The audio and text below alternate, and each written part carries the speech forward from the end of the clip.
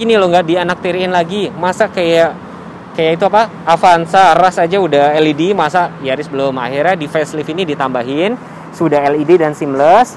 Lalu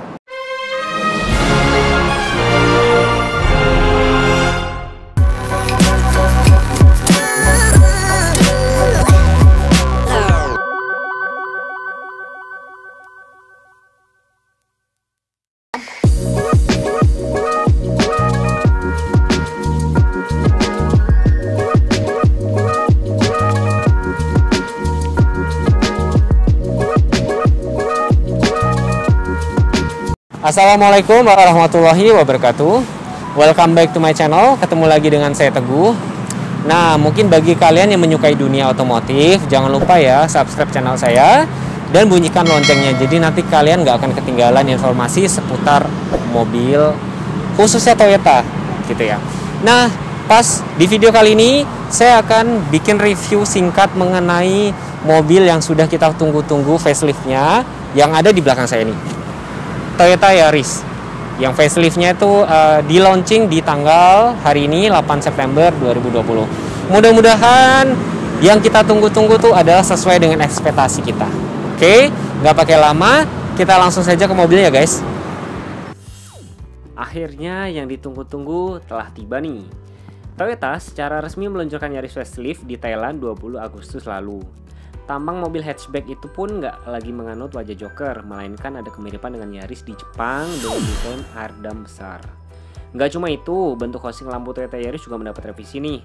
Lampu daytime running light kini sudah menyatu dengan lampu utamanya. Jadi sebelumnya itu masih terpisah dan terkesan merupakan komponen aftermarket gitu loh. Nah, jeruan lampu juga ikut berubah nih dari semula proyektor menjadi LED multi reflektor. Lanjut ke bawah, bumper Yaris dirombak nggak lagi terlihat senyum Joker. Ini karena bentuk ornamen penghias mika lampu kabutnya diubah nih. Kemudian lubang angin nggak ketinggalan direvisi, bentuknya menjadi trapesium seperti Veloz. Lanjut ke buritan, rupanya pecinta Toyota Yaris harus sedikit berkecil hati. Karena lagi-lagi nggak ada perubahan yang besar, desain lampu masih menyerupai paruh burung. Begitupun dengan ornamen penghias maupun kelengkapan pintu bagasi masih sama seperti dulu. Tapi tenang aja guys, ditambahin lampu LED, dan juga kamera mundur. Mudah-mudahan mengobati sedikit kekecewaan ya guys. Kita bicara mesin, masih belum ada perubahan, masih dengan kapasitas 1496 atau 1500 cc, berdaya 107 PS di RPM 6000 serta torsi puncak 14,3 kgm di RPM 4200. Panjang masih sama 4145, lebar 1730, tinggi 1500 serta wheelbase-nya 2550. Untuk manual 5 percepatan, Matic 7 percepatan CVT. Yuk, nikmati pengalaman berkendara dengan mobil hatchback terbaik dari Toyota. Coba sekarang ya, Toyota New Yaris hadir dengan desain yang sporty dan stylish untuk berkendara sehari-hari. Kita langsung saja ke bagian depan dulu. Yang pertama, lampunya sudah LED, seamless ya. Jadi sekarang udah kayak maksudnya gini loh nggak dianaktiriin lagi. Masa kayak kayak itu apa? Avanza ras aja udah LED masa Yaris belum. Akhirnya di facelift ini ditambahin sudah LED dan seamless. Lalu ini bukan running daylight ya tapi ini kayak clearance lamp gitu loh. Jadi dia ada di dalam menyatu di headlampnya. Nah ini lampu sennya masih bolam biasa. Lalu penyegarannya tetap di trapezoidal cuman di sini dia ada gubahan nih perubahan dari body kit depan. Maksudnya ada perubahan di bumper depannya sini. Yang lama tuh mungkin kayak disebut joker ya. Kalau ini beda kan nih sekarang. Tetap ornamen ornamen untuk fog lampnya sini warna hitam. Ini glossy. Ini juga lampunya sudah LED untuk fog lampnya. Lalu di sini ornamen warna hitam lagi. Dan seperti biasa tetap ada ornamen warna merah ya guys. Jadi kayak Toyota ini untuk tab, uh, versi TRD nya selalu ada ornamen warna merah gitu. Lalu di sini honeycombnya kayak bentuknya desain honeycomb gini. Cuman yang bolong itu yang di bawah aja yang di atas ini dia tertutup. Mungkin untuk mencegah itu ya kerikil-kerikil masuk gitu ya guys ya. Lalu di sini grill sininya ini uh, glossy. Lalu di sini ada ornamen warna chrome-nya ini menyambung seolah-olah menyambung sampai ke headlamp sini ke dalam. Keren ya guys ya. Sini juga biasa ada logo TRD Sportivo depan ini aja kita ke bagian mesin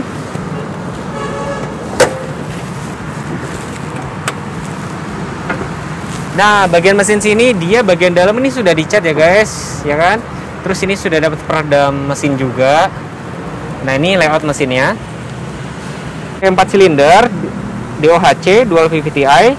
CC-nya tuh 1496 atau biasa kita sebut 1500 cc dengan tenaga 107 di RPM 6000 serta torsi 14,3 di RPM 4200. Sudah full injection ya guys. Sini letak air wiper, letak minyak rem, nih bagian sini juga sudah dicat ya. Untuk ngecek oli mesin dari sini. Nah ini untuk ngecek air radiator, air intake-nya tuh setinggi ini guys. Jadi artinya yang penting kalau banjir airnya tuh nggak sampai ini masih aman. Tapi nanti saya bikin tips cara menghadapi banjir gitu ya guys ya. Ini akinya letaknya di sini, sekring di sini. Nah ini layoutnya. Jarak mesinnya itu kalau diperhatiin ya jarak mesin sini ke bagian bumper depan ini juga lumayan tinggi, lumayan maksudnya lumayan jauh. Jadi kalau misalnya terjadi accident, jadi nggak terlalu apa ya parah untuk kerusakannya gitu loh ya pakai bagian mesin ini aja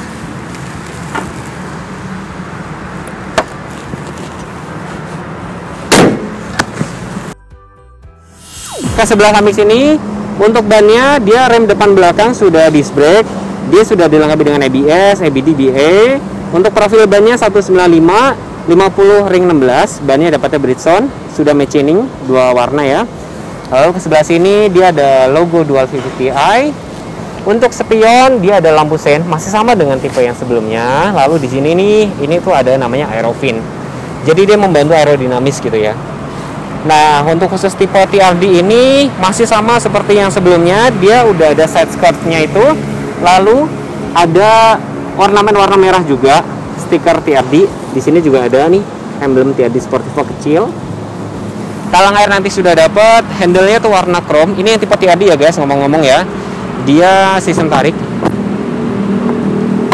Ke bagian belakang dulu. Kita beranjak ke sini bagian belakang antena sudah sakfin sama seperti tipe sebelumnya spoiler juga tidak ada perubahan ya kan nih warna hitam jadi warna apa pun di sini hitam lalu di sini ini ada emblem TRD Sportivo oke bukan ini mah buat air wiper coy Di fogger masih ada, wiper juga ada. Di sini warna glossy hitam.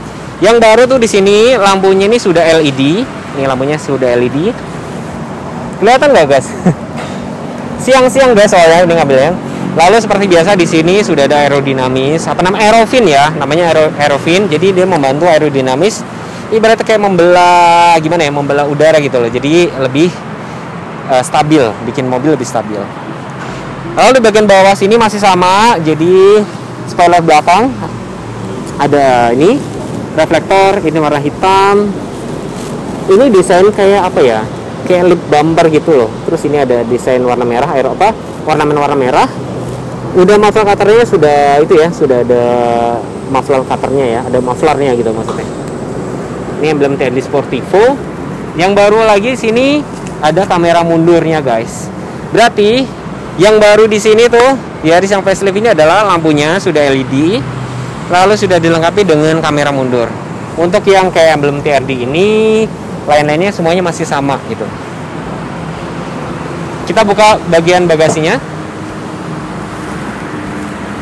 Ini sudah ada separator, itu ada toolkit, lalu ban serep tetap ada di sini. Ban serepnya pun masih sama guys dengan yang lainnya. Ini lumayan gede. Nah ini biar bisa dicantolin di sini. Fungsinya tuh kalau misalkan kita nyimpen barang jadi uh, terpisah.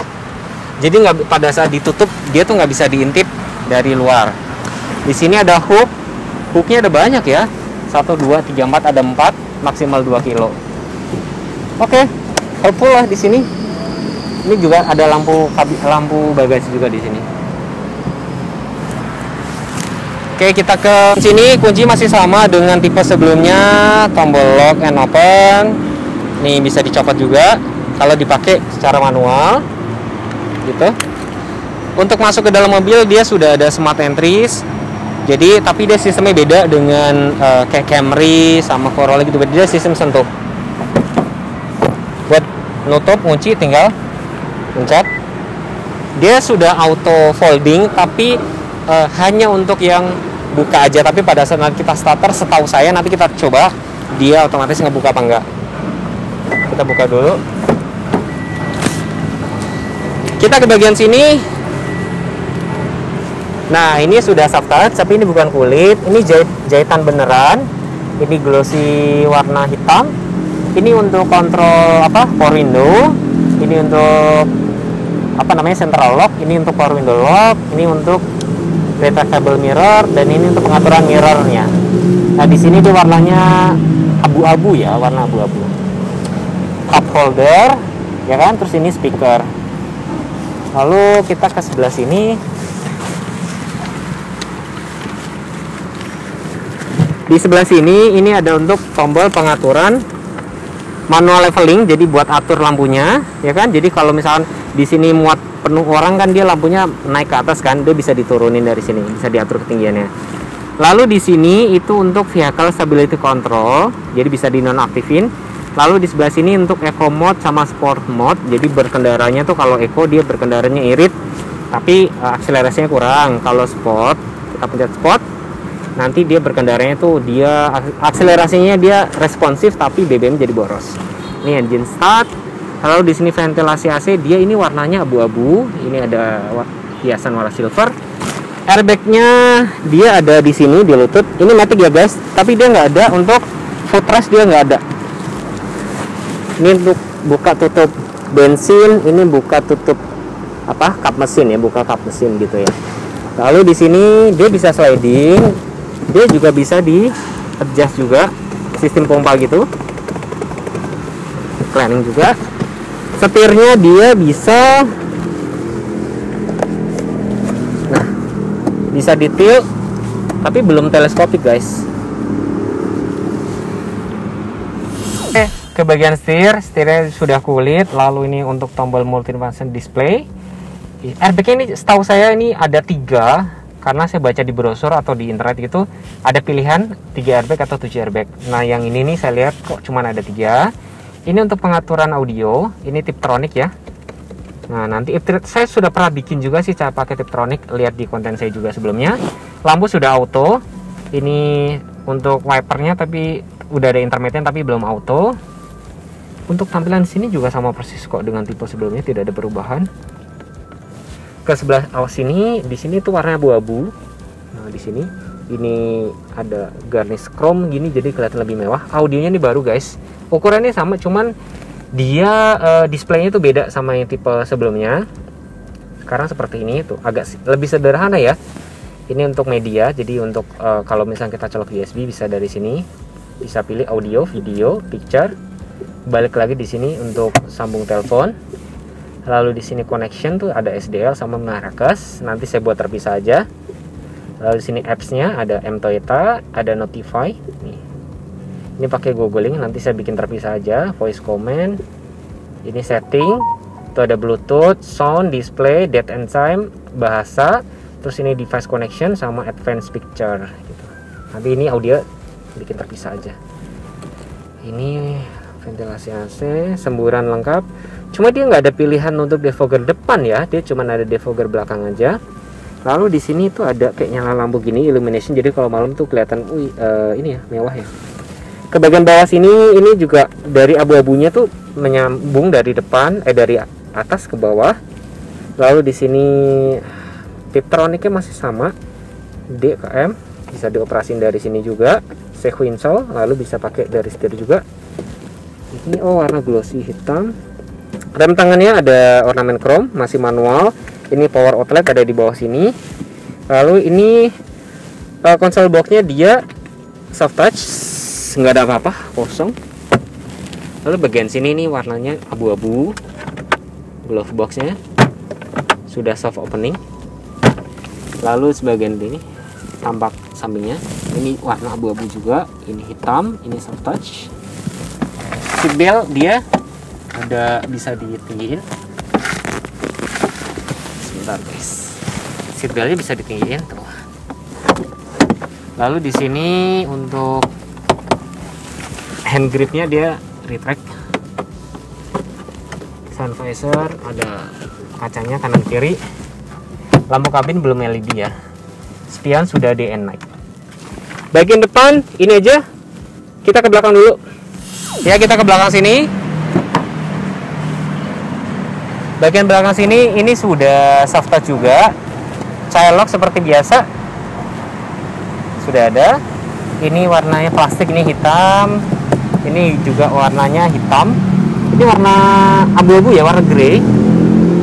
Terus ini empat cup holder speaker. Karpetnya nanti itu dapat apa namanya bordiran Yaris warna merah. Oke saya belakang sini. Ini set pocket set back pocket enggak ada ya sebelah sini ya? Kosong. Set back pocket hanya ada di sebelah sini. Lalu eh, sebelah sini airbag uh, seat beltnya dia ada tiga. Ini untuk penumpang sebelah kanan. Ini yang atas penumpang sebelah tengah. Ini yang sebelah kiri. Cuman ini nggak bisa di reclining. Dia tuh apa namanya uh, fix ya. Joknya dia fix. Tapi di sini tuh udah ada kursinya udah isofix jadi di sini tuh ada cantolan buat kursi baby di sini. Ini penumpang tengah. Jarak kakinya tinggi saya 165 ya nggak tinggi-tinggi banget ya saya. Lumayan segini. Kalau penumpang tengahnya nah yang tengah ini memang agak-agak gini ya. Agak ini agak-agak tinggi kan? Lebih nyaman di sini ini ada hand grip kanan kiri dia ada hand grip. Layoutnya seperti ini. Lalu untuk melipat bangku belakang sini saya harus buka dulu. Bangku belakang ini bisa dilipat. Kita coba pencet dari sini nih. Tinggal pencet ke depan. Jadi bisa dilipat 40 60 gitu ya. Jadi kalau misalnya kita masih butuh penumpang di belakang tapi pengen e, naruh barang masih bisa nih guys. Nih dia hanya mentok segini aja gitu kita bisa dilipat semuanya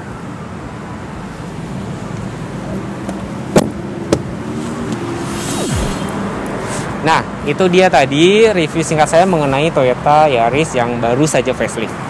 Mudah-mudahan sesuai dengan harapan kalian ya guys. Barangkali nih kalau kalian ada rencana nih mau tukar tambah atau memang butuh kendaraan baru atau memang lagi cari mobil kecil, saya rasa mobil ini patut kok dipertimbangin karena sudah kekinian ya model sekarang ya, sudah lampunya udah LED, terus fiturnya udah ada kamera mundur juga. Sedangkan Yaris lama kan nggak ada kamera mundur. Jadi saya rasa nggak perlu dimodif-modif lagi, nggak perlu tambah apa-apa lagi. Ini udah cukup banget. Mudah-mudahan video ini bermanfaat. Kalau belum subscribe, jangan lupa subscribe ya guys. Terima kasih sudah menonton. Wassalamualaikum warahmatullahi wabarakatuh.